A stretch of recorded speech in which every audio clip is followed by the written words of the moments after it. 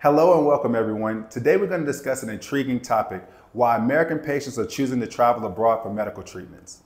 We're exploring the reasons behind the growth in the U.S. medical tourism market, the motivation of U.S. patients, their concerns, and their common characteristics. Laura will be asking me questions and I'll be answering based on my professional experience. So without further ado, Laura, I'll hand it over to you to start asking me the questions. Okay, let's start. Can you start by explaining why medical tourism has become a popular option for US patients? So, one of the primary reasons why US patients gravitate towards medical tourism is for cost savings. As you know, in America, we pay the highest amount for healthcare than any other nation. And so patients are always looking at ways they can cut on their medical expense. And so medical tourism has become really attractive to them for this reason. But patients also travel because some procedures may not be readily available to them in America, like specialized procedures or unique procedures. So they travel abroad for that. But what's really primarily driving the market in the US is cost savings.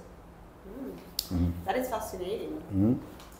Now, how much can US patients save by traveling abroad for treatment?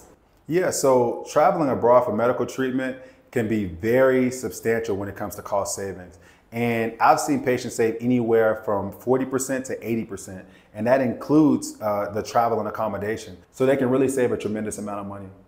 Wow. Thank you, Gil. Mm-hmm. Next question. Can you give examples of treatments that U.S. patients commonly travel abroad for? So, U.S. patients travel for a whole host of treatments. Um, they travel for anything from dental procedures uh, to cosmetic procedures to orthopedic procedures, things like knee replacements and hip replacements. So, they travel for all sorts of procedures.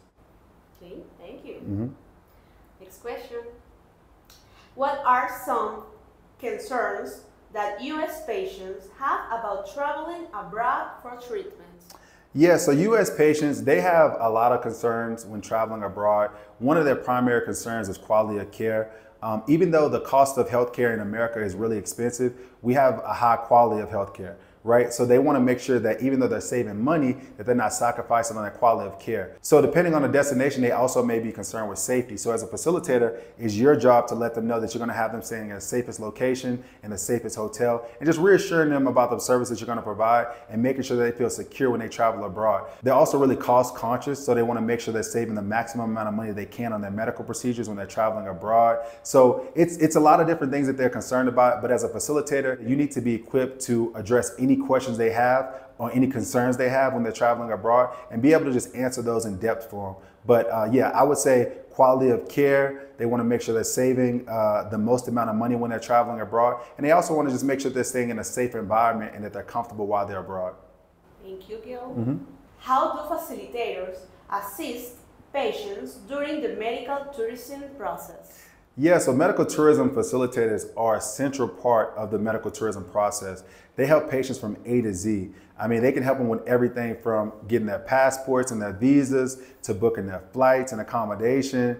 Um, yeah, so they help with everything. Also, making sure that they transfer the patient's medical records to the overseas healthcare provider in a secure manner um, setting up entertainment, making sure the patient is at their doctor's appointments while they're abroad. I mean, they really they really help with every part of the medical tourism process. And some patients need more assistance than others while they're abroad. It really depends on what the patient needs from you as an individual. But medical tourism facilitators, they really help the patient in every phase of the medical tourism process. And I always like to say, as a facilitator, you want to be the first person that the patient talks to when they land in their overseas healthcare destination, and you also want to be the last person they talk to when they're leaving their medical tourism destination destination. So you really want to be with them through the whole process and through every phase while they're abroad.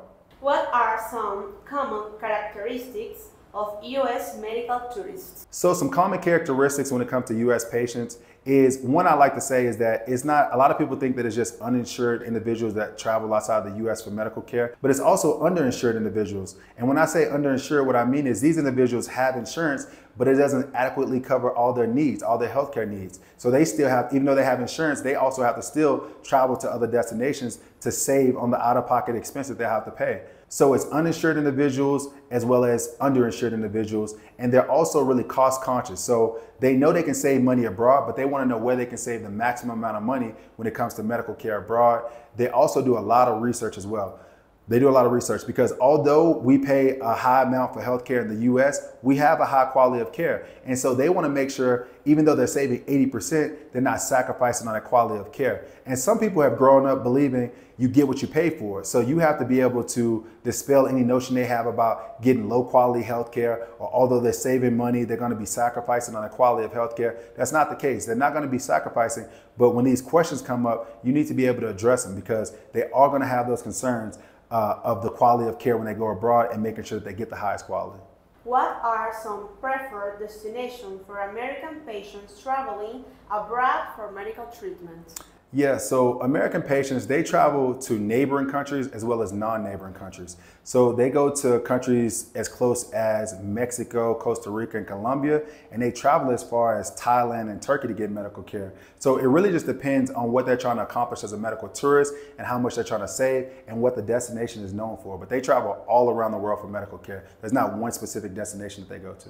Okay, thank mm -hmm. you. Mm -hmm. As a medical tourism facilitator, what steps do you take to ensure your clients get top medical treatment? Yeah, so the best way to ensure that your patients get top medical treatment when they travel abroad is by simply working with the best healthcare providers, right? Making sure that the healthcare providers you work with have an accreditation, whether that's a JCI accreditation or equivalent one, but making sure that a third party has validated this healthcare provider and they verified that this organization holds themselves to a certain standard. And also it's good for you as a facilitator to do site visits, right? Go on site, physically meet with the healthcare providers, tour the facility, make sure the facility is up to par with modern standards. So there's, there's a variety of things you can do. You can also talk to past patients that the healthcare providers have dealt with or that have been to this uh, medical facility and who have gotten treatments from this medical facility and really just doing your due diligence as a medical tourism facilitator. So there's a host of things you can do. We cover this in a whole chapter in the Certified Medical Travel Agent Certification. So we really show you how to vet these healthcare providers, but those are some places to start. Okay. Mm -hmm. Final question. Hmm? How do you make sure your medical tourism company is protected from liability during the medical tourism process? So as a medical tourism facilitator, the best way to protect yourself is by making sure you have solid medical tourism agreements in place. A hospital agreement is a, is a great place to start, and that spells out what you expect from your overseas healthcare provider when you send patients to them. Also making sure you have a patient waiver agreement so the patient understands what you provide as a medical tourism facilitator and what you and what you won't be providing.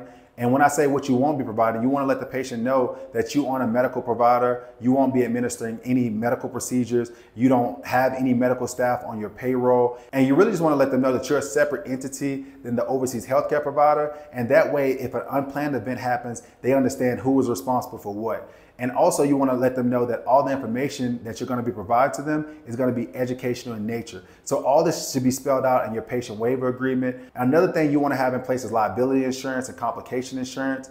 And in our contract that we provide to members, we always have a space in there that goes over complication insurance. And it gives the patient the opportunity to either accept complication insurance or reject it. And that goes a long way. If they reject it, at least it shows that you would take a proactive step to give them complication insurance and that they rejected it. And if they accept it, then obviously if something goes wrong, they'll be protected. So there's a whole host of things in risk management tools uh, that we provide to our members. But yeah, contracts is the best way to go when it comes to protecting yourself and protecting your business in the medical tourism process. Thank you, Gil. That was awesome. Thank you. And so we want to thank you guys for watching this video. And if you're in the process of starting a medical tourism company, or if you're looking to grow your current medical tourism company, reach out to us. I'm going to leave some links below to our membership program and our certification program, as well as our contracts. But thank you guys so much for watching. I hope you have a good day.